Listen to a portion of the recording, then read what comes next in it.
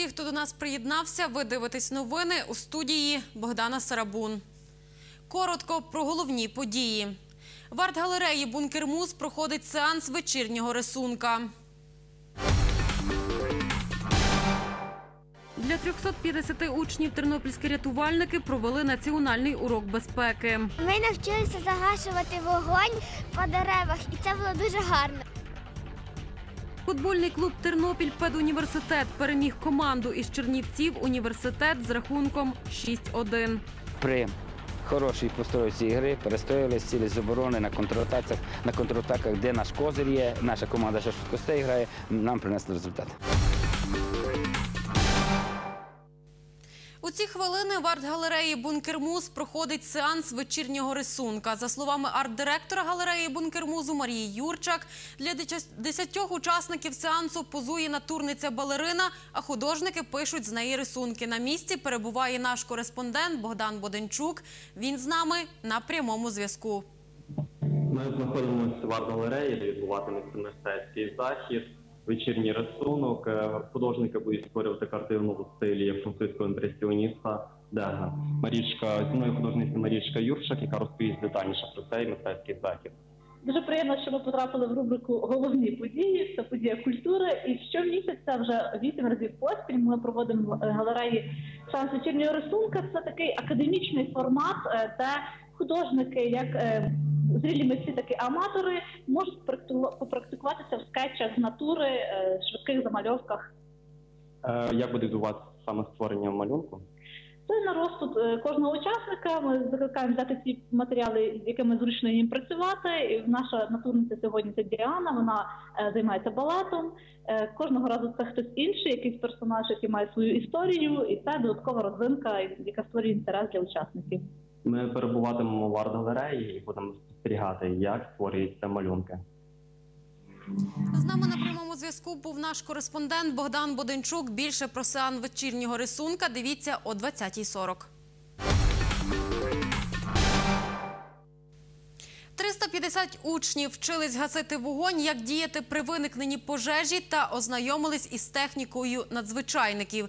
Для них тернопільські рятувальники провели національний урок безпеки у Тернопільській спеціалізованій школі першого ступеня з поглибленим вивченням іноземних мов. Повідомила речник пожежно-рятувальної служби області Ірина Крупа. Детальніше у сюжеті Богдана Боденчука. В актовій залі розпочався національний урок безпеки. Я вас вітаю е, з початком національного уроку безпеки. Такий урок безпеки проводиться за ініціативи ДСНС України, України на всій території України сьогодні в вашій школі. Під час якого нагородили 10 дітей, учасників конкурсу малюнку на протипожежну тематику. Грамоту отримала учениця 3 класу Єва Джурбій. Я малювала те, що, е, наприклад, коли ви гладите, е, тоді не можна залишати ем, електрику включеною. Тобто я там намалювала м, там, де праска е, на одязі стоїть, і вона загорілася. Діти подивились мультфільм, як діяти під час пожежі. Скажіть вашу адресу.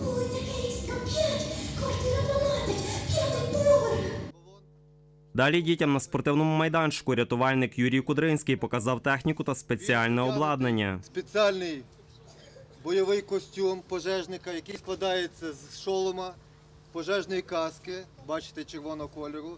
Будете мати можливість, слухняні дітки зможуть приміряти. Куртка бойова з штанами пожежними для захисту, для захисту пожежника від е, відкритого вогню. Вона захищає костюм. Пожежний пояс, пожежний пояс з пожежними рукавицями. Учень 3 класу В'ячеслав Кушик гасить умовну пожежу водою. Я навчився тушити вогнегасником і водою. Я хотів би стати е, пожежником. Оксана Данчак із однокласницею Софією Янчевською вчились користуватись вогнегасником. Ми навчилися загашувати вогонь по деревах, і це було дуже гарно, цікаво. Якщо виникне пожежа, я ж можу загасити. Кінолог В'ячеслав Губський розповів дітям, як працює службовий собака Сенді. Вона займається пошуком людей. Пошуком людей на завалах, в лісі, на відкритій території. Вона допомагає рятувальникам найскорше знайти людину, щоб вона ще була в притомному стані. Це німецька вівчарка, 7 років. Е, Вона в мене з самого маличку. Ми вже так сказати 7 років разом працюємо. Богдан Буденчук, Оксана Галіяш. Новини. У сьомому турі чемпіонату України серед студентів вищих навчальних закладів футбольний клуб Тернопіль педуніверситет з рахунком 6-1 переміг команду із Чернівців університет. Матч проходив на центральному стадіоні Тернополя. Тернополяни грають у жовто-синій формі. Гравці з Чернівців у синій. Рахунок матчу на 11-й хвилині відкрив футболіст команди Тернопільського педуніверситету Ігор Гатала. Другий гол у ворота чернівецької команди забив Іван Когут на 18-й хвилині. До завершення першого тайму рахунок протримався 2-0.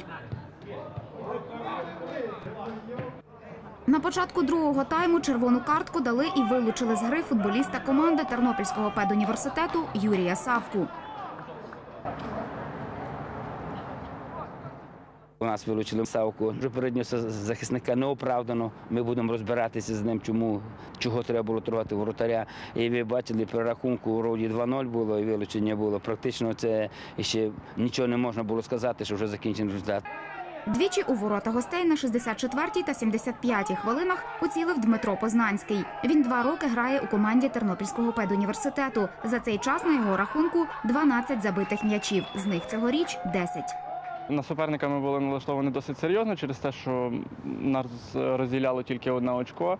Е, Те, що Чернівецький університет ну, в Чернівецькому університеті дуже хороша команда, і тому гра ну, вважалася бути нелегкою. Е, Такого рахунку не очікували, хоч е, коли ще й в нас було вилучення, ми вже догравали десятьох, то взагалі ніхто не розраховував там бити більше, а е, лише втримати результат. Так вийшло, що ми забили аж шість. На 76-й хвилині пенальті забив гравець Чернівецького університету Юрій Головачук, відкривши рахунок для своєї команди 4-1. До завершення гри тернополяни ще відзначилися на 84-й та 88-й хвилинах. Автори м'ячів Іван Когут та Юрій Заставецький. Це вже сьомий тур, і це була ключова гра. Практично ми на одну очко опережали Чернівецьку команду. І Чернівецька команда, якщо взяти це спокон віків, поки ми і вони, то у нас такі дербі. Чернівецька команда дуже хороша і старались. Ну, е, у нас було більше бажання. При хорошій постройці гри перестояли цілі з оборони на контратаках, на контратаках, де наш козир є, наша команда що швидкостей грає, нам принесли результат. Гру чернівецької команди її тренер та футболісти не коментували. Ірина Терлюк, Андрій Прокопів. Новини. У турнірній таблиці чемпіонату України Тернопіль педуніверситет на першому місці. Завершиться чемпіонат у травні наступного року. Команда переможець поїде на чемпіонат Європи. Кращі гравці команд вишів України гратимуть на світовій спартакіаді, яка відбудеться наступного року в Італії у Неаполі. Серед тернопільських футболістів є п'ять кандидатів, які можуть увійти до цієї команди. Повідомив Василь Івегаш. Сьогодні о 12.30 у селі Лосяч Борщівського району водій автомобіля «Мерседес» збив 54-річну жінку, яка їхала на велосипеді. Жителька селища Скала Подільська загинула на місці, повідомив речник Нацполіції області Сергій Крета. За його словами, жінка рухалась назустріч водієві по його смузі. На місці події слідчо-оперативна група з'ясувала, що під час роз'їзду двох е, вантажних автомобілів, фура, а також Мерседес Бенц Буда, значить, потерпіла е, велосипедистка, яка проїжджала поруч. Значить, водій автомобіля Мерседес зачепив дзеркалом е, жінку, яка рухалася е, назустріч йому.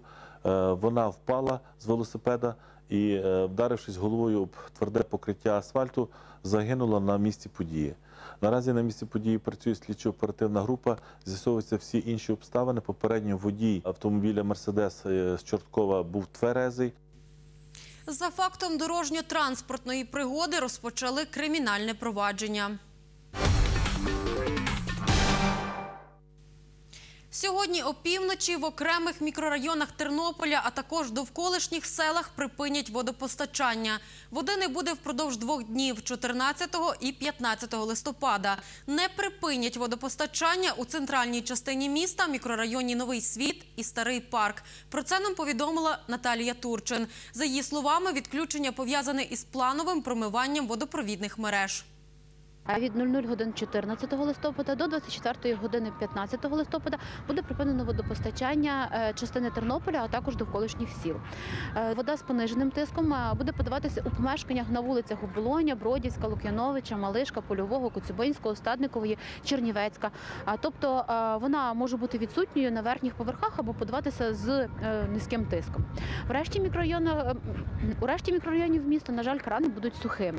Починаючи вже зранку 15 листопада, це четвер, в окремих точках розподільчої мережі, ну в квартирах е, може вже з'являтися вода, але вона буде з підвищеним вмістом хлору, тому непридатна для вживання в питних цілях або для приготування їжі. Промивання водопровідних е, мереж це е, щорічна процедура. Здійснюється воно восени і навесні, як правило, і передбачається технологію експлуатації технологію експлуатації власне водопровідних мереж. Це вся інформація на цю годину. Наші кореспонденти вже працюють над наступним випуском новин, тому більше дивіться о 20.40.